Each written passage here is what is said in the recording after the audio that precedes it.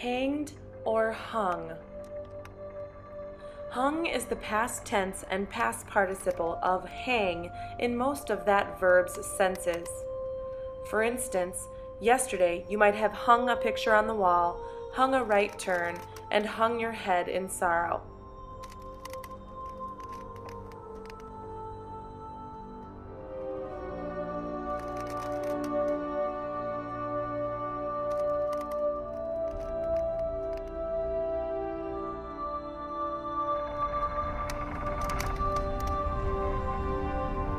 The exception comes where hang means to put to death by hanging. The past tense and past participle of hang in this sense, and only in this sense, is hanged.